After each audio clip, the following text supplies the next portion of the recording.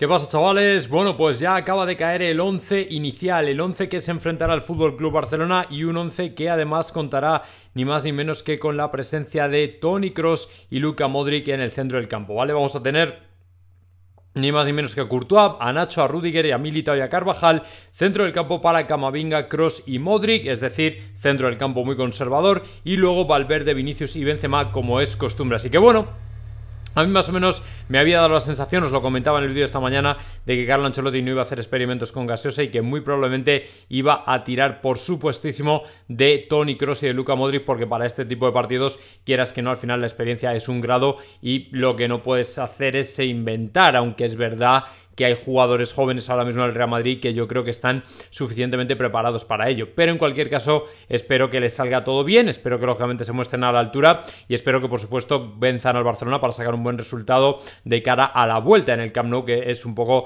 la parte más complicada. Así que bueno, pues ahí lo tenéis, Real Madrid-Barcelona, ahí tenéis el 11.